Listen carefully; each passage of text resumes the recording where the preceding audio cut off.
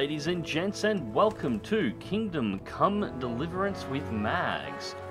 So, a couple of months ago, I put out a poll in the community section of my YouTube channel asking if anyone would be interested in seeing me play an RPG, just for something a little bit different. 1,500 of you responded, and the answer was most certainly yes, but the only question was which one.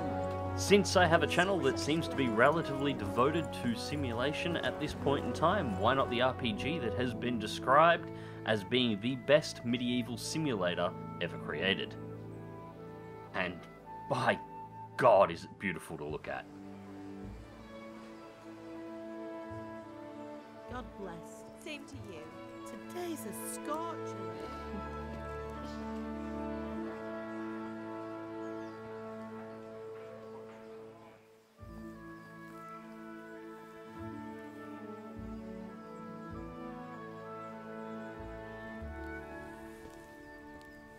Husband, how goes it? Good.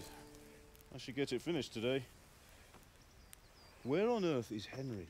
I need him to run some errands. He was still sleeping when I went out. At this hour? Blue-blooded idler. Well, it looks like he was out all evening, drinking like a lord.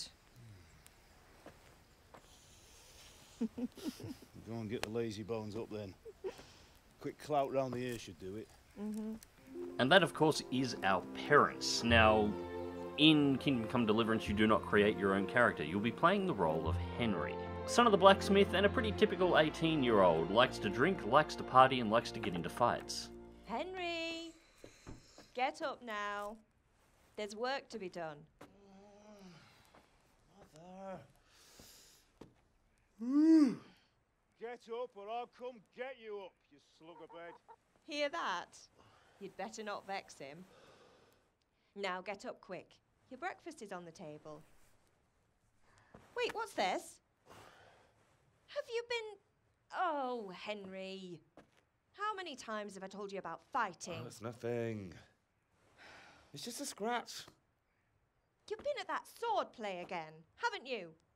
You'd better pray your father doesn't get to hear of it. You know how he feels about it. Oh, don't worry, it wasn't that. I, I just scratched myself, is all. Hmm, well, just don't come crying to me if you really do get hurt. Now get up, you rogue. And this is way too close to being real. I cannot tell you how many times I had almost that exact conversation with my parents at that age. A fine state you're in this morning. What on earth did you get up to last night?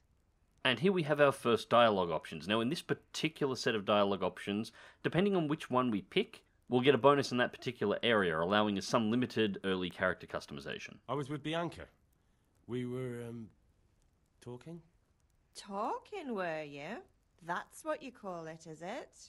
Now, if I had ever told now. my mother that I was talking with my girlfriend, I've that would have been the end of the conversation you're not right there. Me. And it's connected with that scratch on your hand. And that suspicious looking character with a sword who turned up in town recently. So I'm learning to sword fight. And what of it? What harm does it do? At least I'll be able to defend myself. God above, Hal! You know how your father will react when he finds out. How? What's he gonna do? I'm doing nothing wrong. I just wanted to try it. On your own head be it then. I can't stop you, and you can deal with your father on your own. Don't come looking to me for help. And so we get our first quest to go and meet our father the blacksmith and see what help he needs crafting a very special sword. Anyways, for those of you unfamiliar with Kingdom Come Deliverance, Kingdom Come Deliverance is a historical RPG based in Bohemia in 1403, and it's based at least loosely on real life events. The old king of Bohemia, who was pretty much loved by everybody, has passed away, and his son became king. The problem was, his son was a bit of a dickhead. Didn't care much about the kingdom, its people, or the politics involved around it, and so, of course, medieval politics happened. The King of Hungary, Sigismund, captured the young prince and dethroned him, and then began a campaign to capture all of Bohemian lands. And our story takes place not long after the start of this invasion and this war. But for the moment, the large scale politics don't matter to us too much. First, we've got to get past our dad. What's the matter with you, Henry? Didn't you hear me calling you? Alright, so the persuasion system. We basically have three key stats here speech, social status, and intimidation. Now, our scores are 173. We don't know what our fathers are, so I'm going to pick social because it's our highest Sorry, number. Father. I was taking a stroll and lost track of time. Somehow I had a feeling I was seeing everything for the first time. And I love the fourth How, wall break my there. boy, when are you going to get some sense? Anyway, we've a lot of work to do today. I'm finishing the sword for Sir Radzig, and I need your help. With what? I'm running out of charcoal.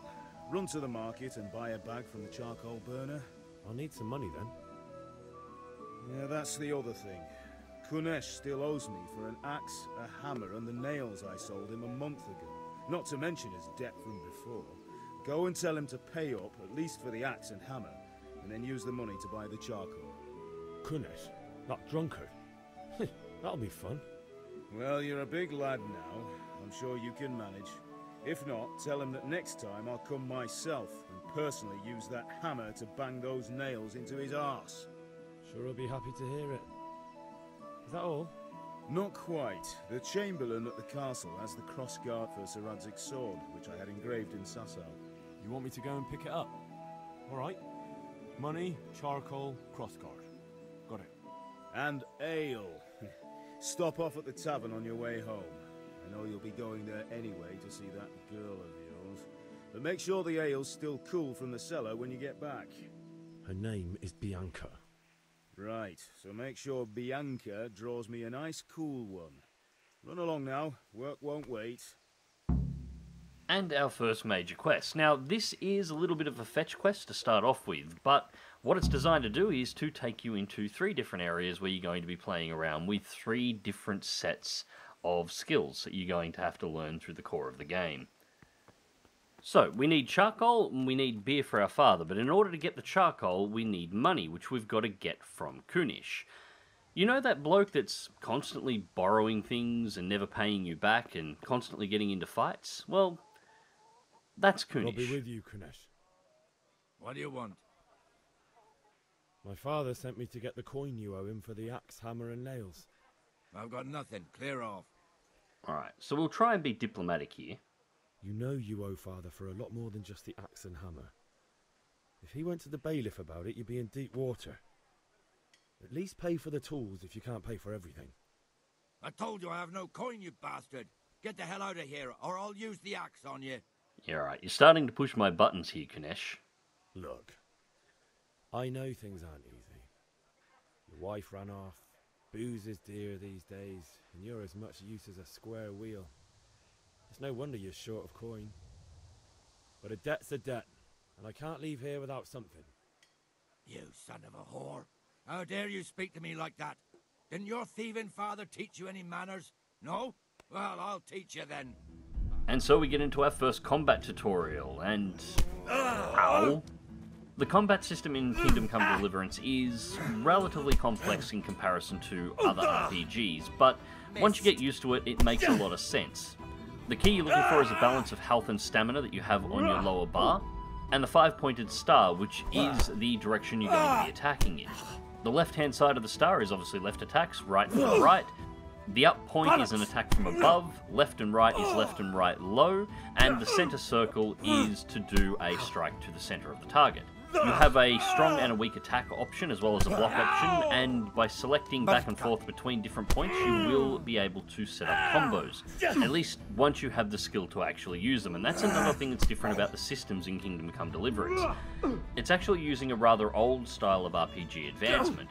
Rather than simply going out to kill or fight enemies, earning XP, and then using that XP to spend on new abilities in order to skill up. If you want to get better at anything in Kingdom Come Deliverance, you have to actually do it. You want to be a better fist fighter? You better get into a lot of fist fights. You want to become a better sword fighter? You better get into a lot of sword fights. And the same goes with every other skill in the game. Your character improves by doing rather than earning a set amount of XP and then just spending it to improve your skills at whichever places you would prefer. Now, most fistfights don't last this long. This particular fight is deliberately drawn out, one, so you have a chance to actually practice these skills, and also, so you can earn new levels in your main level and in unarmed. However, once you spend enough time beating the hell out of Kunesh, he finally yields. Enough! Enough! I give up. Take what you want. It's not much, but it's all I have. You understand? Alright, so we've got the keys to Kunesh's house. So, first we'll grab his axe, and then we'll take a little bit of a look around to see what else he has. Which, unfortunately, as it turns out, is bugger all. His house is actually quite a bit of a dump. But we do find this chest and we're able to recover the hammer and the nails. So while we don't have money, we now do have something we can sell. So let's go haggle ourselves a deal with the charcoal merchant. And here he is standing in the centre of the town, or at least his helper. The main charcoal burner is currently a bit occupied to talk to us, but we're all good to go here. So we need 10 pieces of charcoal for a start, and then we need to work out exactly how much this is going to cost us and whether or not what we've just got from Kunesh is actually going to be enough to pay for it. So, now we're selling, we need to get rid of the axe, the hammer, and the nails. Now, in total, this is actually not going to be quite enough. We're going to be 0.1 short. Let's have a word about the price. Sure, why not? Thankfully, we are a pretty well liked young lad, so if we pull back the price by just that one point, I'm sure the bloke will be willing to cut a deal. Finally, a reasonable sum. And so ends the haggling tutorial. Now, just like all the other skills in the game, if you want to get better at it, you need to spend time doing it. But haggling is one of those things where your social standing also comes into play, so the clothes that you're wearing and your general cleanliness does become involved. This is where the game's systems start getting very complex very quickly. Now, our next stop should, of course, be the pub, but something? there's somebody else here that we know. Have you recovered from yesterday's great wound? That was nothing. Except Mother noticed and had a word or two to say about it. No mother's happy when her son starts to take an interest in swords. Where there's weapons, there's death. The question is, what do you want? I don't want to rot in this hole forever. I feel like I don't belong here. I want to live and see the world. The world's a dangerous place and I need to know how to protect myself. Spoken like a man. And as it happens, today's your last chance. I have to leave. So, are you ready to get stuck in? Something that's potentially dangerous, it's guaranteed to piss off our parents? Absolutely. All right, I'll wait on the ground by the sheepfold as usual.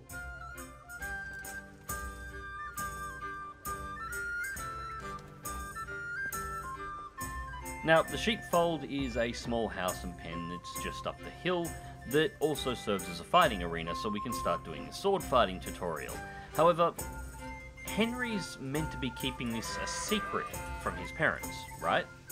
Because they don't approve of him learning to sword fight, right?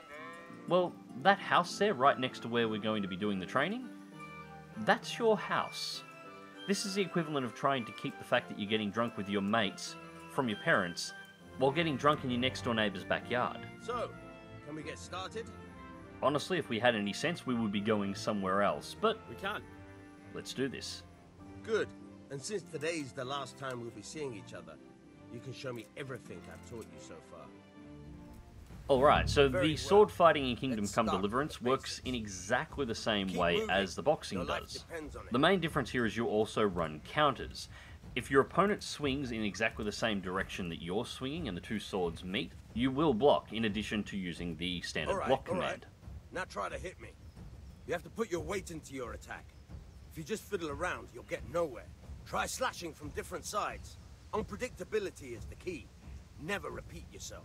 So a big part of this is watching what your opponent is doing with their sword and setting up to either counter it or to try and make an attack where they're not blocking. Good. Now, the interesting part about the sword fighting here is it is at very least loosely based on real medieval techniques. The point of the blade is for stabbing. Try it a few times. There are, of course, limitations on this, considering that you are using a keyboard and mouse or a controller of some form to actually control yourself rather than just moving, and the animations, of course, have their own limitations. But as a representation of real medieval sword combat, it's probably one of the better ones. One strike, I can fend off without a sweat. But if you chain your strikes, I'll have a much harder time. As soon as you land one blow, follow it with another.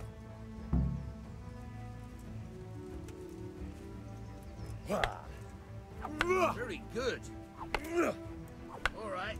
Now, controlling your stamina in combat is very important. Each attack you perform costs you stamina. Every time you block, it costs you stamina, and every time you take a hit, it will cost you stamina.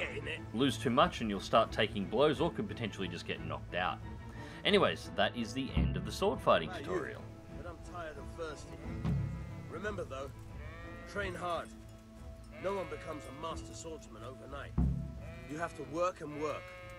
And the main thing is to use what you've learned in real combat. There's nothing better than experience, believe me. Now, there is a reason why I'm going over all of these now in the very first episode. One, it saves me having to explain some of the mechanics in future videos, but also, everything here is so beautifully and seamlessly designed. The whole point of all of this is not only to teach you how to play the game, but also to make it very clear what your life is like. So, next up, we have the Tavern, otherwise known as Medieval Reddit. And today's subject politics. You can't be serious, Deutsch. Insulting our king. What insult? I say only the truth. Sigismund has done only what he had to. Had to. He had to abduct the king. He had to lure his cousin Prokop into a trap and imprison him. He had to invade with his army of Tartars and besiege Kuttenberg. Why not? What is this Wenceslas for a king? The empire is falling asunder in his hands. The German counts elected Ruprecht of the Palatinate as king because your Wenceslas would not go to their deeds even. German counts. Traitors. Now even the Pope God be with you, Henry. opposed to your king. I'm with you, Matthew. are such lords as What's going on here? Rosenberg, Deutsch spouting shit. What? Just listen and you'll hear for yourself. Someone has to bring order and reunite the empire. What do I care about the Austrians? And nowadays, not even the devil himself can keep up with all the popes. Which is the rightful pope? The one in Rome or the one in Avignon? Do not blaspheme, Alex. No, it's true, though. Wenceslas is the king of Bohemia. Bohemian nobles are on his side. To hell with Rosenberg and his cabal. Sir Radzik is Wenceslas' commander in chief. He stayed loyal to the king. And if he heard you talking like this, he would have you whipped like a dog. Your deed will soon have nothing left to rule. Jobst had to sell Luxembourg to help your king. South Bohemia is with And Sigismund don't and, forget about Kuttenberg, where Germans like you kissed Sigismund's feet to keep their heads. yes, but Goodman Deutsch, this is pointless. Let us talk of more pleasant things. My words exactly. And that makes your mates over here, the Reddit trolls. Deutsch trolls. has gone too far. Wenceslas is our rightful king. Deutsch is an idiot. But what can you do? I might have an idea. Deutsch deserves to be taught a lesson. Doesn't he, Fritz? You Too right, uh, Matthew. Should give him a proper hiding. Are you mad? Do you want to end up in the pillory? Don't listen to Fritz. I've got a better idea. Deutsch was talking such shit, it made me think of that huge parliament. You know, the one right next to his freshly whitewashed house. you think we should redecorate for him? Count me in. Well, I'd rather torch it, to be honest. But doing some tears will do. What do you say, Henry? But I was going to get ale for father and a, a few other things. We're finishing Sir sword. Come on. Throwing a few handfuls of manure is not going to take all day. And it's our duty to defend the honor of our king. Yep, Reddit trolls. So, Hal, are you with us? Yeah, why not? Trolling can be fun from time to time. Oh well. Father can wait a while. My words exactly. I knew you wouldn't miss out on all the fun. Let's go.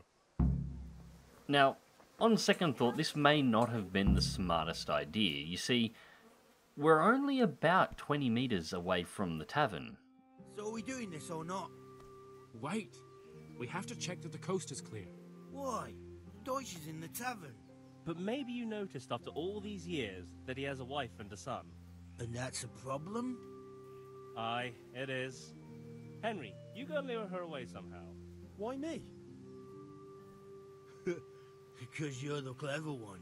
Yeah. Now, that almost sounds like a compliment, except for the fact that these are your mates, and the wife is sitting right outside looking directly at you. So, two out of three here are not exactly high achievers. What do you want, lad?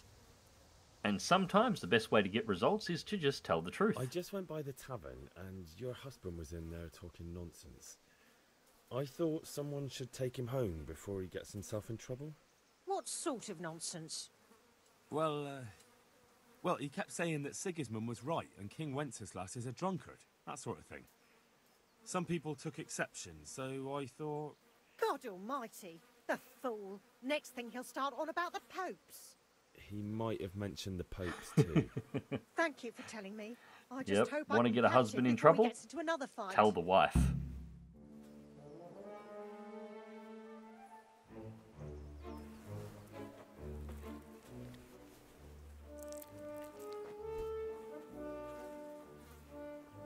What are you waiting for, soldier? Fire the trebuchet! For king and country! For king and country, my ass. This is all good, clean, fun. Nearly as good as having that traitor in the pillory. Nearly. Now that would be sweet. That's for Sigismund. Woohoo! Eat shit, Docious. You bastards! What the fuck do you think you're doing? Remember the son that was mentioned before? Hey, Hans. Here he Can't you see? We're decorating your house for you. It's like your old man was saying in the tavern about that traitor Sigismund. We're just doing what we have to do. Oh, sons! I'll make those smiles off your faces! Oh, I'd like to see you try. What are you doing here, Zbizek? Hanging out with this poxy Deutscher? Maybe you'd like to try out the latest German fashion.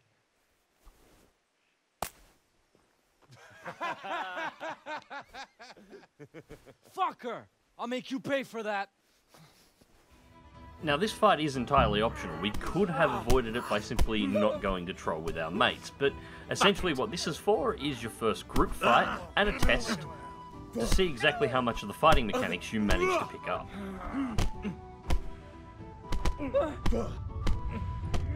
Need to back off a little bit here. I've blown through my stamina. I need to let it rebuild. And that's one down.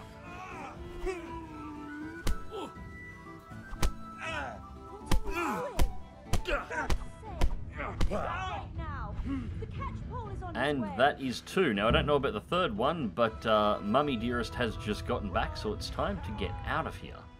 Now, the escape path here is to run around the outside of the town and come back in near the main gate. And there is absolutely no way we should ever have gotten away with this because this town is simply not big enough for it. Still, with our trolling side adventure here complete, it's time to get back around to the tavern, pick up our ale, maybe see our girlfriend, and head back up to the forge in order to finally complete this sword that our father's been working on. But we'll leave that and the start of the real story of Kingdom Come Deliverance for the next video. Anyways, ladies and gents, I hope you enjoyed the video and thank you very much for watching. As always, remember to check the video description down below for links to all of my social media, my Twitch, my Discord if you would like to come and join, and my Patreon and Subscribe Star if you would like to help support the channel directly. And as always, remember to click that like button if you did, share and subscribe if you would like to see more and you haven't done so already. And as always, until next time, take care.